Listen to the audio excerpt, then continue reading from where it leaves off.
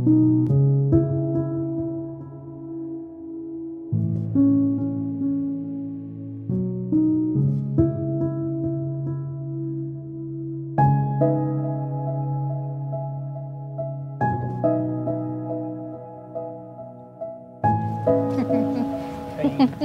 you.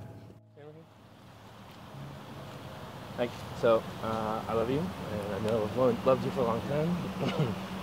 Sorry. Okay. Uh, and I know I want to spend my life with you, so I want to know if uh, you will marry me. yeah. Good? Love you.